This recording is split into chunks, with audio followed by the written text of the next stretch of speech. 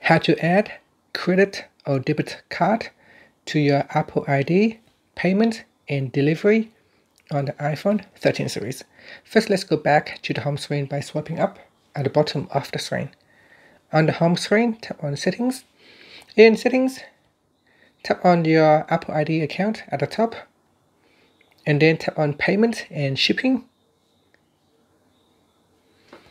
Next, tap on Add Payment Method. Now in here, you can choose credit or debit card and you can use Visa card, MasterCard, or American Express card. Now you can also choose PayPal. If you want to choose PayPal, you need to log in to PayPal. Otherwise, if you choose credit or debit card, you need to put in the credit card number, the expires date, and the security code. And you also need to fill in the billing address below here. Once you have done that, you can tap on the done button to finish. Otherwise, you can tap on the back key if you want to add in the payment method later on. And for shipping address, you can also tap on add shipping address. This shipping address will be used when you make Apple Store purchases. And finally, you can swipe up to go back to the home screen.